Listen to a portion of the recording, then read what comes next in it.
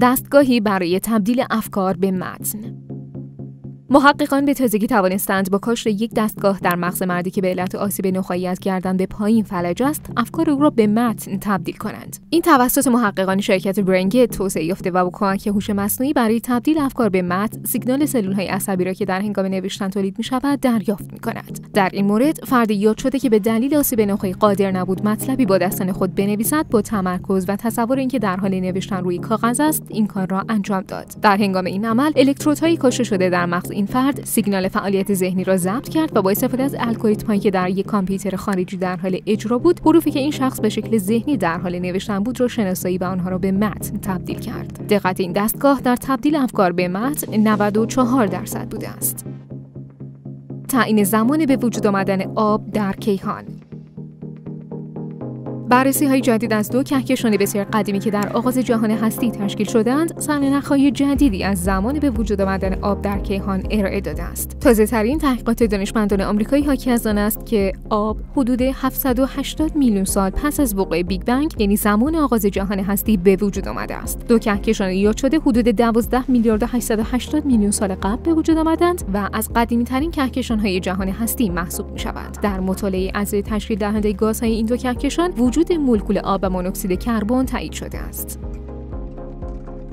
تاثیر کرمهای پروانه بر گرمایش زمین تحقیقات جدید دانشمندان نشان می‌دهد که های پیله ساز عاملی ناشناخته در انتشار کربن هستند. محققان انگلیسی با مطالعه گسترده روی های پروانه پی بردند. این جانداران با مصرف انبوهی از گیاهان که برای جذب دیوکسید کربن موجود در اتمسفر مورد نیاز هستند باعث آسیب دیدن طبیعت و گرمایش زمین می‌شوند. علاوه بر آن مدفوع تولید شده توسط این کرمها حاوی باکتری هایی است که باعث آزادسازی دیوکسید کربن در هوا می‌شود. های پروانه به گرسنه بودن مشهور هستند و پیش از تبدیل شدن به پروانه تا 27 هزار برابر وزن خود غذا می‌خورند.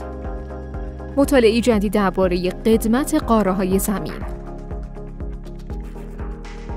تجزیه و تحلیل جدید سنگهای باستانی نشان می‌دهد نخستین قاره های کره زمین 700 میلیون سال زودتر از آنچه که تصور می‌شد پدیدار شدند محققان استرالیایی با مطالعه رسوبات سنگی در نزدیکی شهر کلکت واقع در شرق هند اعلام کردند نخستین قاره های پایدار یعنی بخشی از پوسته زمین که به پایداری رسیدند بین 3 میلیارد و 300 تا 3 میلیارد و 200 میلیون سال قبل از زیر آب بیرون آمدند. پژوهشگران با تاباندن لیزر به ذرات ریزماده معدنی زیرکن که در این رسوبات سنگی کشف میزان عناصر آزاد شده از آن را تعیین کردند و توانستند قدمت این سنگها را تخمین بزنند.